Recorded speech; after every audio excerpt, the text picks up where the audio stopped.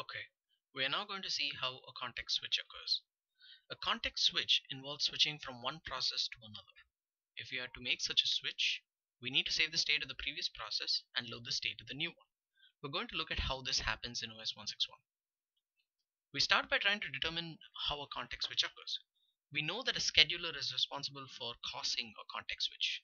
However, if you grep through the code for schedule, you will find that there is only one function a defined in th kern thread thread.c that does nothing.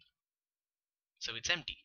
And from the comments, you can see that until this is written, the default scheduler uh, runs threads in a round robin fashion. Okay, so this was sort of a dead end to what we really wanted to see, which is what leads to a context switch. So how do we proceed from here?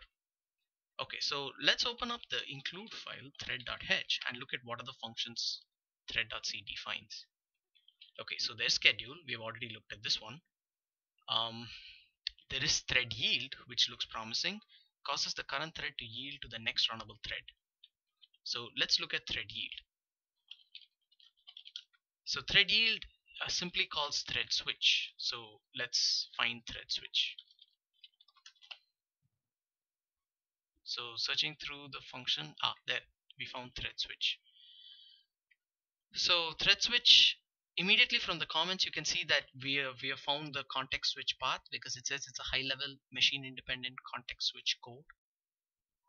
So going through the code um, it sets cur to current thread. It checks if it's idle. It does a bunch of spin lock acquires. It checks the state of the thread. But where we need to get to the switch part because that's what we are interested in ah okay. So here it figures out what the next thread to run is and once that's done actually the the part where it figures out the next thread to run is happening here. And once that is done it does it calls a function called switch frame switch. And from the comments you can see that it's happening possibly in assembly because the file has a dot .s extension. So we're going to search for the function switch frame switch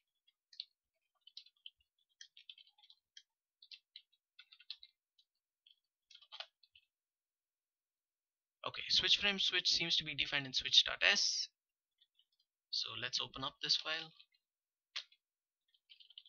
Okay so the function is right here. So remember as part of the context switch we have to save the state of the previous process and then load the state of the next one. Right? So that's clearly what this function is doing because here we can see that it's saving all the registers. It's storing the stack pointer the program counter and then restoring all the registers of the other process.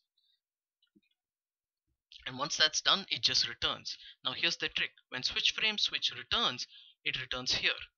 And the point is that when the, the thread that returns here and runs all of this right now is actually the next thread not the previous one or the current one. Uh, this is described in detail in the comments here.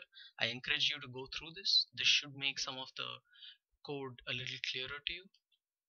And that explains how the scheduler and the uh, invokes a context switch and how a context switch occurs